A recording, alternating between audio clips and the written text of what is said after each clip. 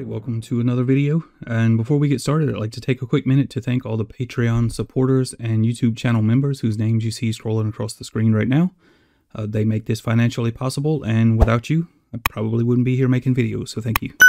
Welcome back to another video. So today we're going to be flying the swordfish once again. Um, there's a couple of changes that I want to talk about and I'll kind of explain what's going on there, and then we're going to just kind of leave you with the rest of the footage because I don't really have a lot to explain other than what's going on.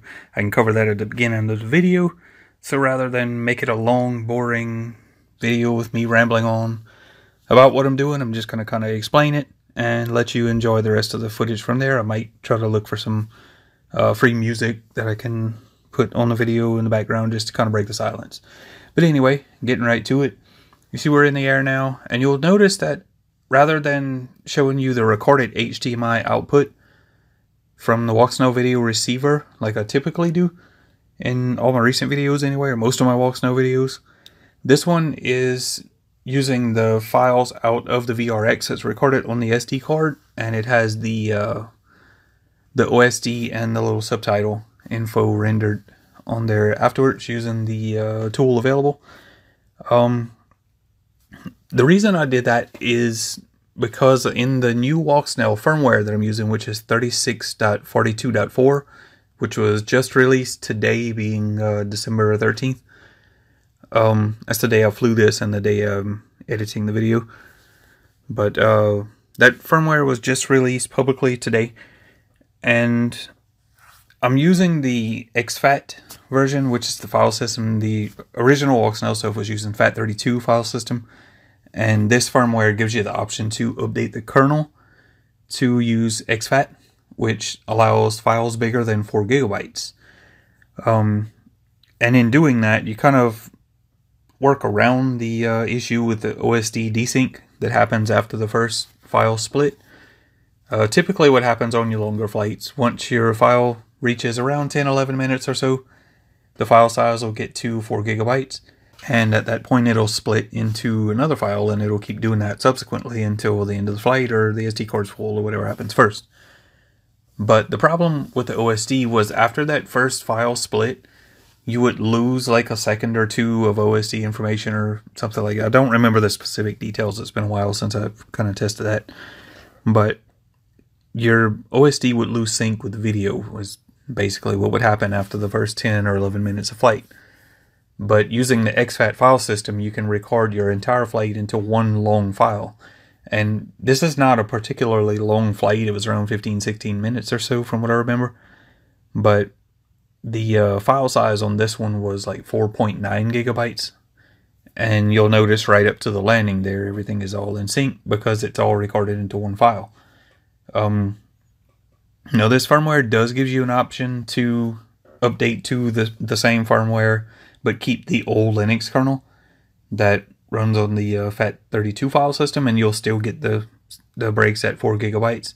And the reason they did that is that not everyone is going to be concerned about longer flights. Uh, you know, the guys running quads and things that typically fly, you know, four or five minutes, six minutes, whatever.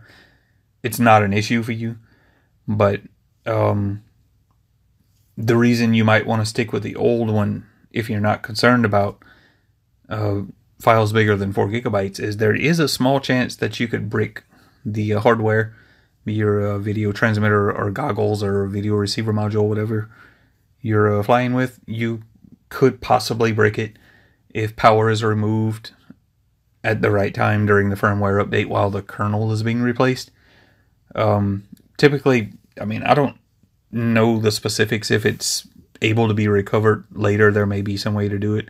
I'm sure there's some way to do it because they, I mean, they soldered this hardware up with with no firmware on it, and then the initial firmware is written to it, so it's going to be possible to revive the hardware, but chances are people are not going to be able to do it at home with the tools you have available.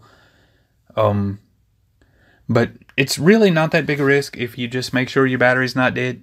Um, I wouldn't really recommend powering it off a power supply, off a mains power or something like that during the update, in case in very unlikely event you might have a power outage or a little brownout or something like that. It could render your hardware useless. But uh, just use a good charged battery and don't remove it until the firmware is finished updating and everything reboots, and you should be good to go. Um, I've updated the hardware several times back and forth in all the testing we did for Walksnail and never ran into an issue. And, and personally, I don't know of anyone that's ever bricked any hardware with it, but they, they just want to make you aware that there is a possibility. Um, just make sure you have a good, good reliable power source source during your uh, update. Um, but anyway, the other change is the uh, receiver. I'm using the Radio Master Express LRS 2.4 gigahertz receiver, the one that I showed recently in a little quick unboxing thing. It's the RP4TD, which is the uh, True Diversity 2.4 gig receiver for Express LRS from Radio Master. Um, I'll pop that one in here, just fly it around, and it's working well. I'll probably leave it for now. But um, you'll notice I'm doing a lot of really low level flying in this video. And that's the last thing, the last change I want to talk about. Um, I'll put an image up right now that I kind of took a few days ago when I first put this up. But I'm using a tall antenna mast now. It's actually a 20 foot telescopic flagpole that I picked up on sale during Harbor Freight's uh, Christmas sale or whatever a couple of weeks ago. And I just got around to mounting it up to the shop recently and uh, trying it out. And basically what that does, it, it just raises my video receiver module. Um, I still have the module mounted on a tripod. That tripod is mounted to the top of the flagpole. So altogether I have about 25 feet of elevation above the ground is where my VRX is sitting with its antennas. And I'm running that down the same long, uh, I had a 25 foot HDMI cable that I was using before to run back into the shop.